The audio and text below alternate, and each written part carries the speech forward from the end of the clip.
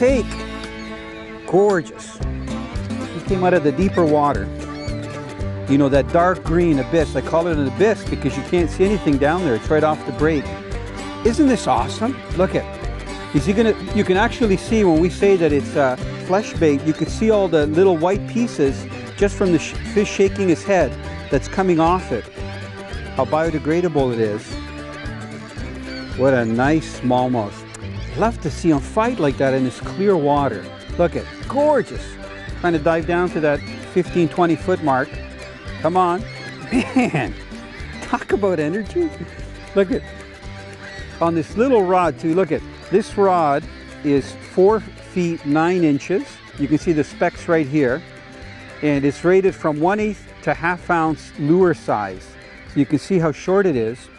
And there's that blue line. They call this the titanium ice line because it's specially designed for ice fishing, that blue color, but it works so well for finesse fishing. And I'm gonna try to net this guy before he throws that Slimers. Beautiful, look at that. Can I just get him over the side? This net is ideal, look at how nice and calm he's staying. I'll grab it from this side so you can see that strip.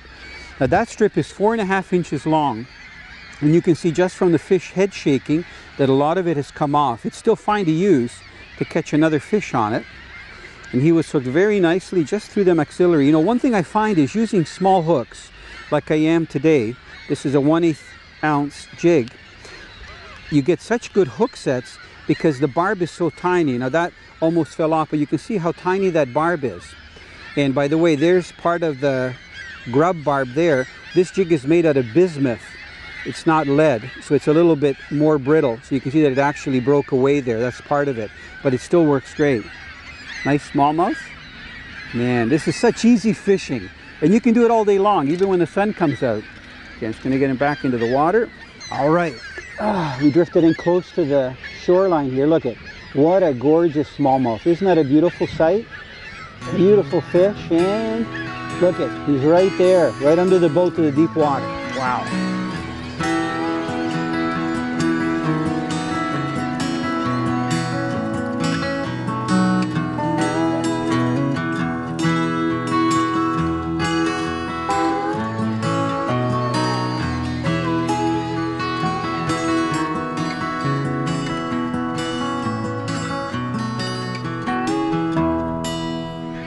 Beautiful fish.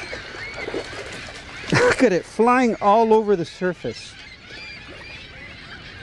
You can see the nice man-made structure, the steel piles that are here. I've actually fished in the St. Lawrence where one of the patterns was fishing all these big piles that the ferries dock themselves on to pick up the people. Beautiful smallmouth trying to go around that thing. But you know what? Even with the slight line, I can steer them out, which is a good thing. They've got so much staying power. Look at this. Gorgeous smallmouth. Just trying to control the boat away from that. I don't want to leave any of my aluminum on there. I'm going to get him in the neck here. Come on. There. Nice and gentle. You notice that I'm not ripping the net in and lifting the fish real fast. That's because I don't need to. Because of this basket net, the live release one, it's ideal. You can see how shallow it is. And it's got a nice square handle, very strong handle. This one is 48 inches long. So it's very easy to net the fish. You don't have to really be too fast about it. Now this is probably the third fish that I've caught on this particular slimer that I'm using. And it's good because I'm going to be able to show you that material that they use to reinforce it so that it doesn't come off the hook. Not doesn't come off the hook normally unless the fish really thrashes hard, like smallmouth are known to do. This guy's just hooked around the maxillary. I'm gonna have to use my pliers. You know, it's always good to have all your tools ready. And in the last two boats that I've had, look at that, isn't that a gorgeous smallmouth? Beautiful colors. In the last two boats that I've had, I've uh, had all my tools out so that they're easy to get at. Just gonna extend it out, let him revive for a second, you can see that he's got all his colors. He doesn't have a lot of stress marks. That means that he's ready to go. He's at trying to figure out which way to go and he's going to take off pretty quick. There he goes. Now let me show you the material that they use for the slimers to reinforce it. I'm going to try to actually peel some of the material back. So I've got some of it off here. I'm going to throw it in the water. See that material? It's almost like gauze that's there. That's what keeps the slimers onto your hook. And you can see my hook here. It's, it's kind of hard. If I tear it, pull it really hard, it comes off. But otherwise, it stays on. You can see how it's almost disintegrating in my hand. Kind of snotty looking, if you will. Canadian Sport Fishing has been brought to you by Rapala Premium Fishing Gear, crafted from experience. Yamaha on the water. This is my Yamaha. What kind of Yamaha are you? Dickies, a legend in work since 1922. Lucky Strike.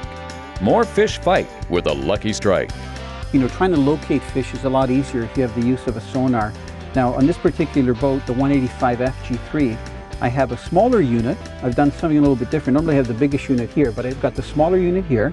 This is a 797 C2i. So this unit is the one that I use when I'm actually looking for spots, like in the channels, to see if the fish are there. Then when I start fishing, I deploy the electric because I want to have total boat control.